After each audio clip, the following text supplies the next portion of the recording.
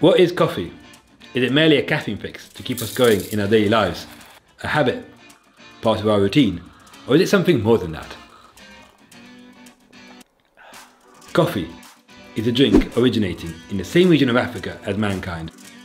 The Arabs brought it into the Mediterranean and then it spread its way across the continent and the rest of the world, developing in each region its own style, taste, and surrounding culture.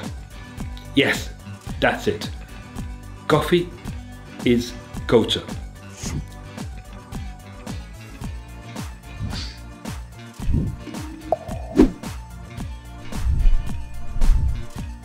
It brings people together.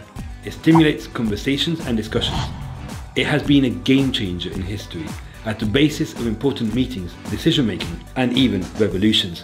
It has changed our society by giving us something stimulating and energizing to enjoy whilst having conversations. Some about our daily lives, whilst others about bigger, greater, deeper philosophical debates in which we question our role in society and the surrounding world. Living in a technologically advanced, high-paced society, we seem to have lost the value of time. We dash in, order a cup to go, and sip on it whilst walking, working, browsing, swiping, liking, texting, or doing something that disconnects us from the world around us. We're much better connected than before, yet we can also feel more isolated. There is more knowledge available, but have we also lost the ability to analyze it? It is almost as if we have lost the true sense of human beings and just unconsciously become human doings.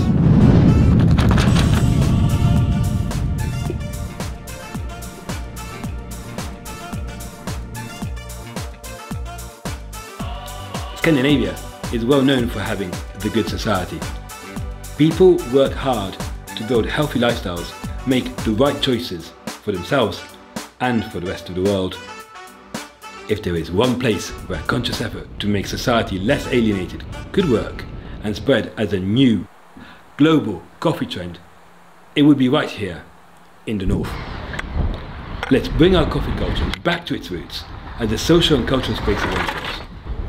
It's up to our generation to make this happen, leading the way, one cup at a time, defeating alienation in the name of the society we aspire to live in.